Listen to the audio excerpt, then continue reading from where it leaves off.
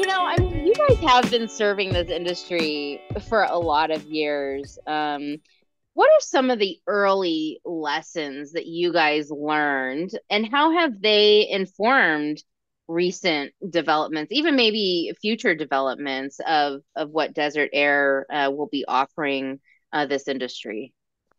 Yeah, that was one of the things that we we did early on in our, our learning process. I mentioned our education of ourselves and our customers.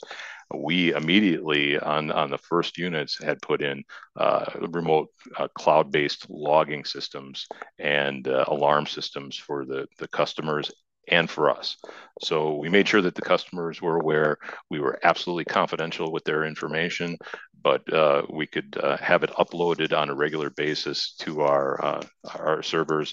And from there, we could see not only the operation of the equipment, but the operation of the rooms, what the loads were doing, so we could apply some of that to to, to their application and future product development and that type of scenario. I had spent uh, in that first couple of years, literally uh, first couple of years, probably thousands of hours looking at log data from individual grow rooms and trying to look at what we could do better, what could help that particular customer, and so on and so forth. So that was a thing that we did really early on that was you know just invaluable to the overall. What system. surprised you, Craig? Like the first time that you looked at a data set, what like was like, oh my god, I did not expect that. Yeah, that that change in humidity load i think you know i had done the research. Is one of those things where you looked at it and you knew it probably should happen and then you saw the spike in the transition in the photo period uh, from the dark period to the photo period. And then you got into the details and, and what i found was interesting that i didn't expect is the capacitance of the room in the system. So you had this where the plants are reacting actually pretty quickly and they're starting to release the, the moisture transpiring extremely rapidly. Uh, it still takes a little bit of time, but uh, uh, that's that's there. But the room was, if the set points were different between the dark and, and the light period, now you start to see a high latent load and there's a, a, transition. You require a lot of air conditioning, uh, or at least a lot more than you did in the dark period, but not as much as you will later in the day. And the reasons why, especially if you have something like a concrete floor, huge amount of capacitance to that system where that's still cool for a long period of time. And we're trying to warm it up with the air and it's resisting right? So it's it's warming up slowly. So you start to see not only this transition period but also how the room affects that transition at the same time. That was one uh, uh you know i'm looking at the graphs and it's one of those head scratchers and then after a while you're like this is why you know early in the day you can see the difference required in the supply air temperature change as much as well, I've seen it maybe four or five degrees difference between early in that photo period and late in that photo period because the concrete floor, the walls, they're still kind of resisting that change. Mm-hmm. So, have you seen difference? Did did that? Did you get curious and kind of look at the difference between a big voluminous room versus kind of these shorter ceiling rooms? Did you see a difference in how the room responded? Um, more of the materials of construction, but I did okay. see some differences in the room. Yeah. Okay. Uh, yeah, definitely more about the, the materials that went into it. Um, yeah, and a little bit about how, uh, what temperatures and humidity they were uh, maintaining the interstitial space, as it were, the, the space just outside of the, the growing room environment. You saw a little bit of that impact going into it. But that was very interesting. And that led us down the path immediately of all right. Um, well, we had some photo cells in there. We wanted to understand when the lights were on or when they were off, uh, and when they were, you know, truly turned on. Not just the growers told us that they turned the lights on at certain time of the day, right? So the equipment became equipped immediately with a photo cell that sensed when that happened, and then immediately after that, we said we could do some things with that information. And so, if you're familiar with proportional integral derivative type of technology, where we're going to modulate based on a, a PID loop, as we call it, right? We started to say we could take the PID loops that command the compressor capacity and the reheating capacity, and we could make them very quick when we know that that photocell change state from light to dark or dark to light. And that can help with this almost predictive, right? We know the load is going to change as soon as those lights turn off. We should respond quickly and we should operate within this range. And that was just a tremendous difference as we started to make those differences in the control sequences to say, here's where we should operate, and we want to get there quickly. That type of thing. Interesting. How about outside air? You guys do specialize in, in DOAS units, uh, dedicated outside air systems for those of us who, those of my listeners who may not know, and, and indoor pool environments, um, where it's kind of basically a, a, DOAS unit, right? You have one entering airstream and one, one discharge stream. Have you seen more interest or more requests for um, having the the capability to bring in outside air either to meet minimum ventilation requirements or maybe to try to use some sort of economizing to to manage the room. Yeah that's a great question too. I've been waiting for that nadia and really it it hasn't happened mm. as of yet uh, we know that you know decoupling the load, we call it in in the case of dedicated outdoor air system.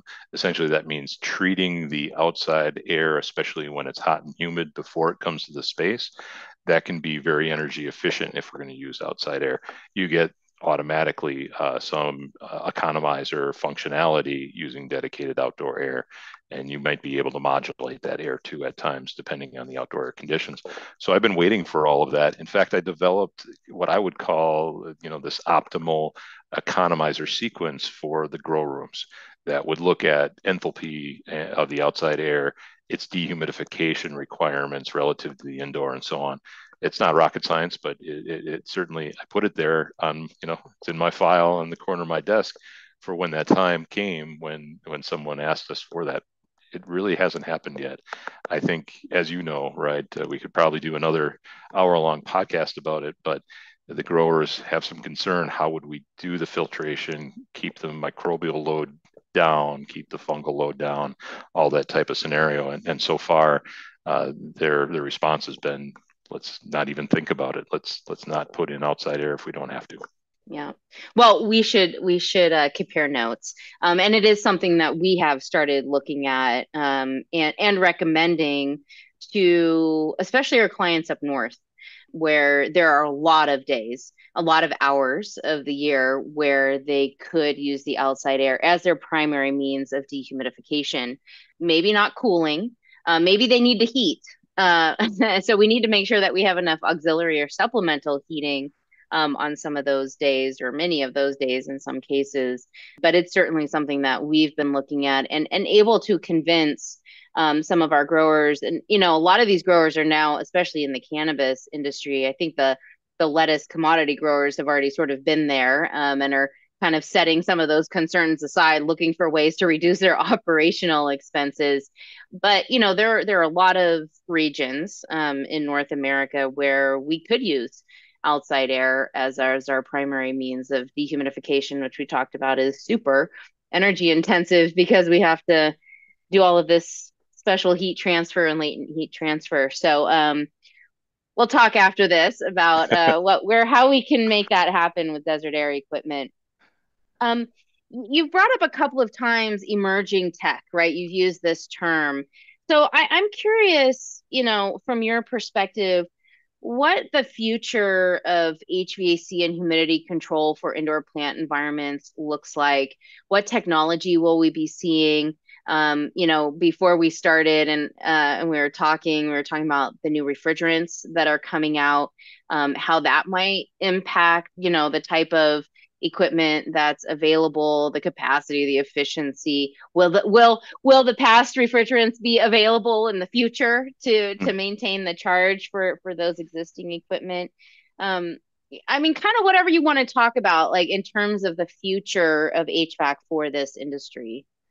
Yeah, well, we we touched on it just briefly, but you know, a lot of what we've been talking about has been direct expansion, direct uh, dehumidification, uh, direct refrigerant coils. Uh, the other side of the industry is certainly a water-based uh, method or fluid-based method of moving the heat around, right? Where we might have what uh, it's still an integrated HVAC unit dedicated to the, the plant environment, but it could use water or glycol to be able to cool the air coming down and then reheat that air as well.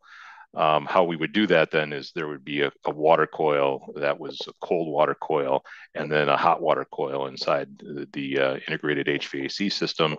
And there would be a chiller preferably a heat recovery chiller so that we could use that same methodology where that energy we use to cool the air got back into the system. In this case, it's water instead of refrigerant, and then is able to be used for reheating when necessary. Right. So we could selectively reheat the air in the same way. So the air sees the same path or sees this the same kind of conditioning, but we do it in a different method where that chiller is the primary piece uh, to do to create the the cold water in this case instead of necessarily directly the cold air. Why I think that's important as we go forward. You mentioned things like uh, how could we increase reliability even of compressors. In the case of these chilled water systems, we have a lot of capacitance as well. We're, we're serving multiple rooms. Uh, we've got lots of stages of compressors available, but especially uh, we don't have to turn them on and off quite as often uh, because we can chill that water and and uh, we can have smaller stages and so on. So, point being is it can be a little more stable operation for that compressor potentially. We have to be very careful about this because uh, anytime we transfer energy from one source or to a sink, we it's never perfect heat exchange. There's losses in doing so. So this introduces another potential, you know, source and sink, and depending on how large we size that heat exchanger, there can be a loss there. But we can make up for that in the economy of scale. The compressors themselves can be really efficient. They can have many more stages. Uh, you could imagine if you wanted to have each room have a uh, a variable speed driven compressor or two variable speed driven compressors uh, and, and, two units in that room and you wanted to have multiple stages.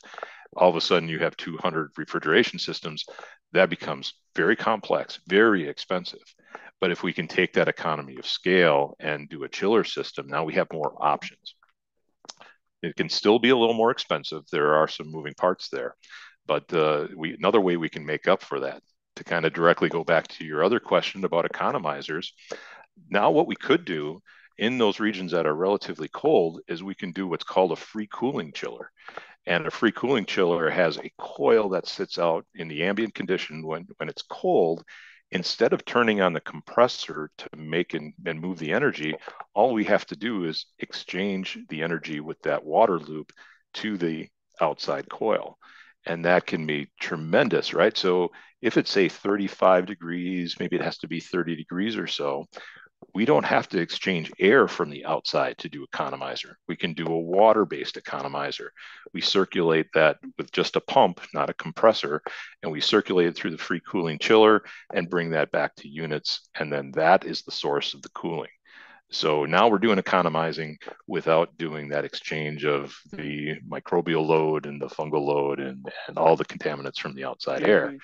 And so I think that's something that we need to look at. To your point before, you know, what's the right application for each one of the technologies? Is this right for this particular customer?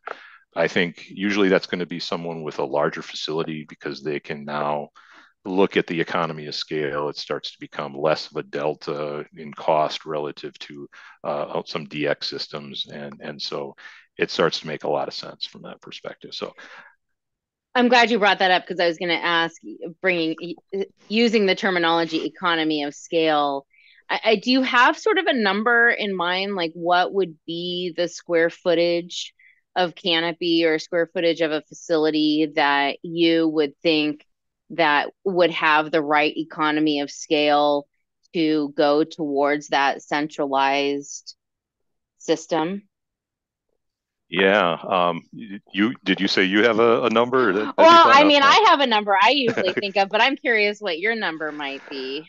Well, I would be trying to push that low because you talked about uh, some of the things, as as we said, the, uh, the, the durability, the robustness of the equipment, the keeping it in the the optimal zones, and so on. And I think that's important. I think the control, because with water, essentially we've got an infinite turn down, and we don't have to worry about cycling on, cycling off. So we can start to move a water valve and, and move it down to its lowest loads So to me, there's an economy aspect and there's also a performance and, and a durability aspect of things here we need to consider. And so my number, as far as uh, I'll put it in tons, and I'll try to try to push that into a uh, square footage. So uh, perhaps somewhere in the range of um, 600 to 800 tons is where it starts to make a, a, bunch of sense, and even a little lower at times if we're really concerned about the control aspect of things. And that uh, would be roughly a facility 20 to 30,000 square feet, something like that. You know, multiple rooms, uh, and, and probably a little bit less than that, in fact. I'm using my calculator. they, they can't see you, Nadia. You didn't have to fess up to that. no, that's okay. That's okay. Yeah, I would actually, I would agree with that scale. Um, you know, yeah, something greater than 500 tons is, is what I would expect.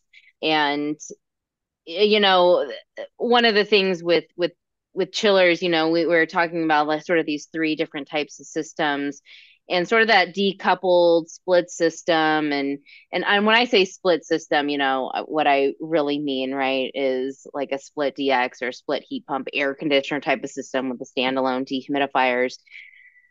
Like that's fairly, I'll just call it low tech, right? I mean, you know, even though standalone dehumidifiers, you can sort of plug into 120 volt, right, like outlets and you know, fairly easy to to maintain or or cost effective to to throw in the garbage and replace right uh, not, that, not that i'm advocating for that but uh, then you have like the package system more complex right you have service techs you know on board that you've contracted with um, you can do a lot of sort, of the regular ongoing maintenance with your team.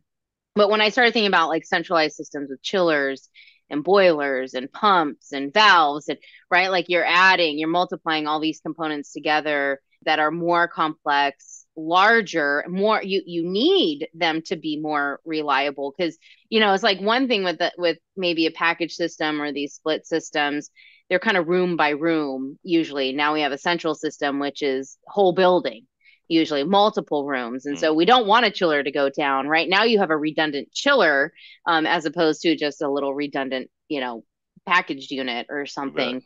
And so in that case, usually uh, one of the things that I look for when even thinking about recommending a, a central plant based system is do they have a facilities engineering team, right? A facilities team that the, you know, that can support all of these systems that it's not the grower and the grow team that are you know trying to muddle through some of these failures or downtimes and stuff but you really need now a team you need somebody who has their eye on that system more often than not right it's not it's not a set it and forget it type of system usually yeah you're right and yeah i don't don't want to mislead anyone that there's there's no free lunch there uh, with those chiller, I, I would always recommend at least a modular system. So they make modular chillers where uh, you're stacking up individual modules and they can work. If one section goes down, you can work on that for that matter while the other portion of the system is running.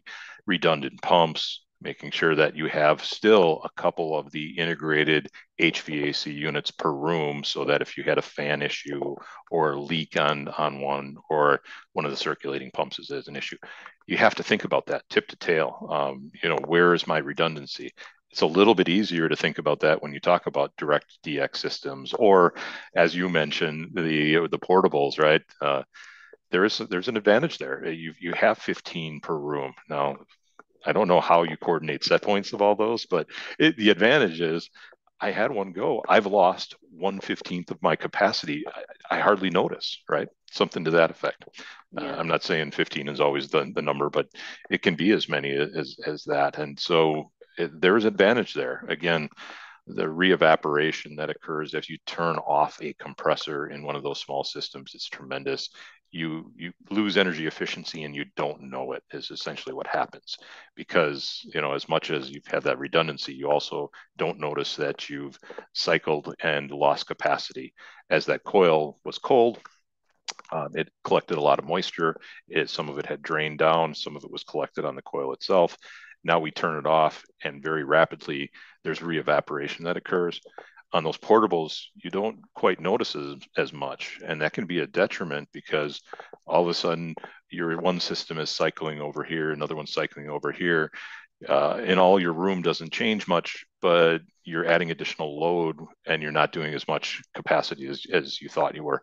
So my and they're point fighting is, each other a lot Yep. of times. Yeah. yeah, absolutely. So, you know, I, I don't I was trying to say that there's advantages there too to the portables uh, and disadvantages, but one of them is, you know, this kind of diversity factor that you get with them and, and so on. So we need to think about that. Uh, there's this theory uh, of uh, n plus one. Uh, that what we mean by that is we have as many modules of a system, whatever they look like, or many components of the system, where if we lose one, uh, we still have enough capacity for to, to handle the load. So we don't notice we can do maintenance or we can do service on one of those pieces because we've got one more module than we needed uh, in that. And there's also the concept of uh, I'll, I'll call it n minus one how much do we notice if one of the systems goes down? That's a good thought process in this industry because we don't can't always afford another chiller another module. So we have to think about what happens if that one goes down and how much will we notice and how quickly we can get it back online. Do you do you see a future for heat pumps in this industry? um, it's a good question. I, i've been asked this before and i don't think so. So Really? here's yeah here's the reason why. Um, uh, so in the air conditioning world really the heat pump right is a an air conditioner that can reverse its cycle and we can heat or we can cool right? So there's that uh, dehumidification effect of cooling the air but now we have to find some way to reheat that and that's okay you can do that you could construct a heat pump or a reverse cycle system that also maybe could have a reheat coil in it uh, that uses hot gas reheat now, the other aspect of things is it could be a geothermal heat pump. And this is the one question that I get probably the most. Um, I'm going to absorb the energy from the air and po- reject at least a portion of it into a geothermal loop. And that is uh, something uh, that's attached to the ground typically. Um, it could be attached to another source um, that uh, is going to be able to absorb and reject energy into that, uh, that ground coupled system. Now, why I don't think that it'll it'll often come to pass is that we need to reject so much more energy than we need to absorb. And what'll happen to the well that we, we create to do a, a ground source or ground coupled system, I should call it, or the field, as it were. Now, really, we're not absorbing and rejecting energy at, you know, kind of infinitely. The ground is a battery. We're storing energy. And if we put too much into it, now we're not going to be able to put enough into it again. So geothermal systems, ground coupled geothermal systems need to be balanced between their source and sink so that they're absorbing energy at the same rate that re- they're rejecting energy into that loop. There's an exception there. If you had something like a river or stream or even a large lake, uh, that can be almost an infinite sink for the energy that we absorb. So if we do this, we're going to have to think about those aspects and we're going to have to figure out how we're going to overcome those obstacles with a, a ground coupled geothermal system. Well said, and thank you. I, I I also spent a lot of time uh, answering that question. I mean, if you you live in a locate, you know, maybe a greenhouse because then you would need cooling and heating, Mhm. right, at different times of the year. But yeah, indoor, we're always trying to reject heat, right? We're Mhm. very rarely trying to add heat, and if we are adding heat, it's usually in a small, a minuscule amount compared to how much we're rejecting. So yeah, like you said, we're just loading the battery and and never taking anything from it. You know, uh, here in California, uh, I know you're aware of our new energy code. You know, how do you see that impacting, if at all, uh, the future of HVAC or or even just controlled environment agriculture in general? Do you see other energy codes coming on in other parts of the country? I mean, I guess I already know the answer to that question, but I'm going to ask you it anyway. And, you know, yeah, just what is that? What is the impact going to be on on you guys uh, trying to serve this industry better? Yeah, that's a good question too. I, I, this might be a little late to the game. Everyone probably knows this too, but LED lights are an important piece of this puzzle, right? So the radiant heat component of LED lights is so much less than than the uh, HID technologies out there, sodium vapor, metal halide, that you know that we get more efficiency when it comes to output per sensible load per extra heat that we need to deal with and so that's it's not only an efficiency of the lighting per se, it's more uh, ppfd right uh, per watt, but also for the HVAC equipment. So we have to continue down that path. Is uh, LED lights are, are going to uh, be an important part of it. Now, how that impacts the industry from a, a load standpoint, the dehumidifier standpoint, is we've taken care of that additional heat that's gone in there, but the plants are still transpiring at the same rate. So now we have to focus even more on moisture removal efficiency. Uh, it, you'll hear the term MRE, right? That's going to be the moisture removal efficiency, the amount of capacity of water we make per kW hour that we put in in terms of energy. So we now we before we had to push a lot about sensible the air conditioning component. You might might look at SEER, right, the seasonal energy efficiency ratios uh, of an air conditioner, and say that's that's what I need to focus on. Now we're going to be focusing much more on moisture removal efficiency when it's LEDs, because that's going to be the largest load uh, without a doubt. When we have an LED, it's going to be about moisture and trying to wring it out of the air. So some of the things that we can do is look at technologies that can enhance the the latent ca- capacity. It, it basically increases the MRE of the systems, and uh, there's there's a couple technologies out there that can help do that. So that'll be a focus for us, and I think for the industry moving forward.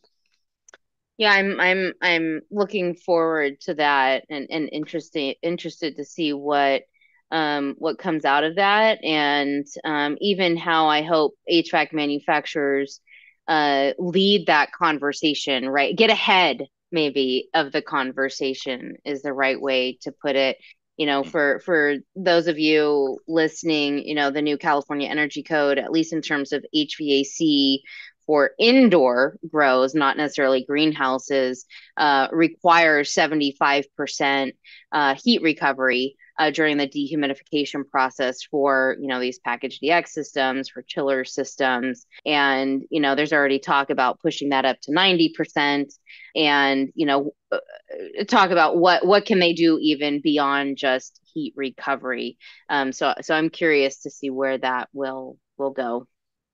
Yeah good. So you know just to sort of wrap up if, if we're talking to the engineers or if we're talking even to the technicians what advice do you have for them for engineers and contractors who are specifying HVAC equipment for an indoor grow facility?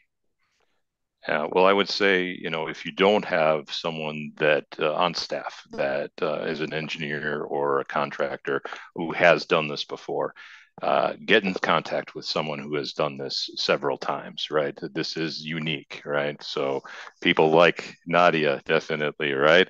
Uh, who's who's been around this, who understands the biology, who understands the the HVAC systems and how they interact, it's just so critical um, because it is different. And so we want to make sure we get the loads right.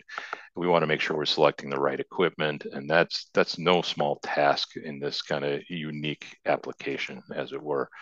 Um, otherwise, you know, pay attention, especially to the the loads, um, size the equipment right. You made a good point, uh, Nadia. We love safety factors uh, as en- engineers and designers. And what ends up happening is we add a safety factor here, and then uh, we add a safety factor on top of that. So we, we, we've added a safety factor on our load, perhaps, and then we've added a safety factor on the equipment size.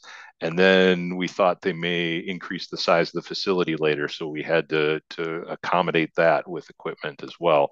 And all of a sudden, we've got a system that's not fit for the purpose exactly because it's been uh, sized for something that wasn't true.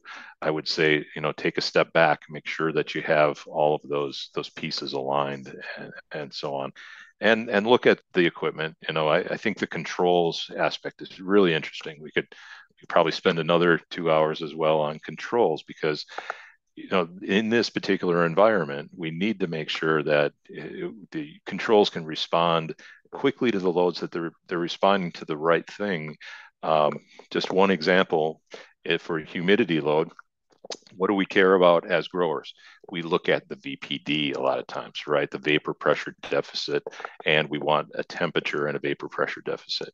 Sometimes we express that in terms of a temperature and RH, but that's interesting for the equipment because the equipment RH is relative. It's, it's right in the name, right? So relative humidity is relative to the temperature the equipment, for example, might need to respond to something different. So, so one thing that we do is look at the dew point. That's the, the total moisture content of the air.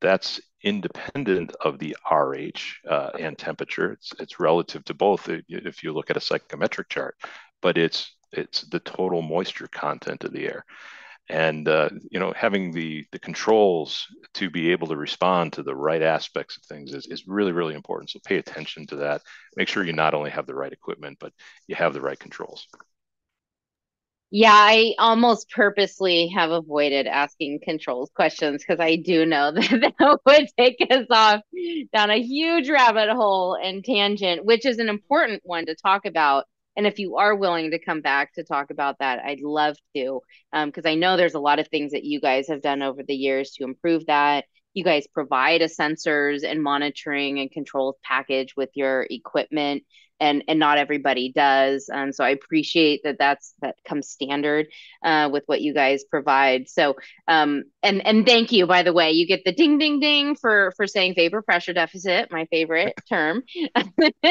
Even under the wire on that one yeah. Just snuck it in. Good job. So so final question. What do plants crave from technology yeah, that's that's a great question too, Nadia. Uh, the plants they need the great environment to survive and thrive, right? So every aspect of it is important. Uh, but what plants want from HVAC technology in particular is something to be able to control and respond to changes. But in the end, uh, plants don't care too much about your iPhone. They don't care too much mm. about your computer it's up to us to leverage the technology to give them what they want. Um, and, and that's important, right? But I think it's an important uh, distinction as well, where let's utilize the, the technology. Uh, let's get the least amount of energy possible given our budget.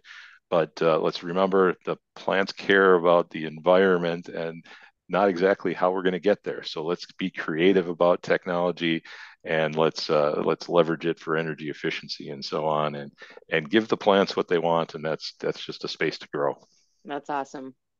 So all right craig i got i got a few rapid fire questions for you. So they're just meant to be real quick answers a sentence or two if you want to expand on anything of course you can but uh, unscripted here. All right are you ready? Yeah. Okay. Uh-oh. plants now you really got to put your thinking cap on. All right. Yeah. Are plants high tech or low tech?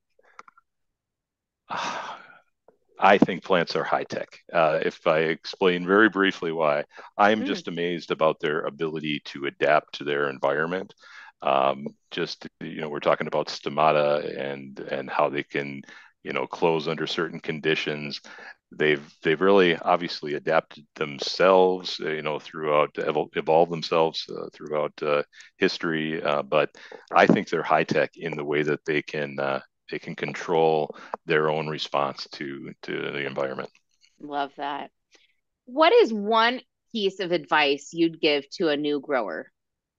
Oh that's a good question. I would say to get a good understanding of all aspects of the technology that's going to go into your environment. Um, obviously, the growers, their main focus is going to be how we can get those plants to be as productive as possible or grow as healthy as possible.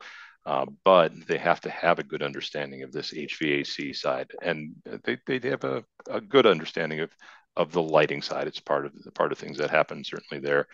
I would say uh, just look at it uh, tip to tail the HVAC, the lighting, the uh, irrigation systems, just understand the technology tip to tail. Nice. What have indoor plant environments taught you? indoor plant environments have taught me um, that well, I suppose I need to be adaptable in my way that I go about my work a little bit more as well. I mentioned mm. I was so excited to see something, some brand new, and uh, you know, I, I, maybe had things figured out in a lot of different ways when it came to applications. And uh, you know, I've done a lot of work uh, on new and different in the past, everywhere from a small uh, whole home dehumidification unit to a large uh, piece of HVAC equipment that could decontaminate an airplane, if you could imagine that. But this was brand new, and it taught me that uh, I need to look at things with with an open mind, and certainly know mm. that uh, we're always learning, we're always adapting, but I, I need to make sure that uh, I'm open to new things. Nice, nice. That's a good. Your answer is a good segue to my next question. If you could design or select a dehumidification system for any application other than indoor plant environments, what would it be? Interesting. I'm not sure what it is, Nadia. I guess I will say uh, the next thing is what I want to design the uh, HVAC system Ooh. for. Yes, so it's it's not known to us right now what that application is. It was like indoor plant environments were some 15 years ago or so, mm-hmm. where we don't know what it is. I would like to be on that forefront of understanding what it is and creating a system to uh, efficiently approach that. I love that answer. Okay, last question. Which tool do you use the most?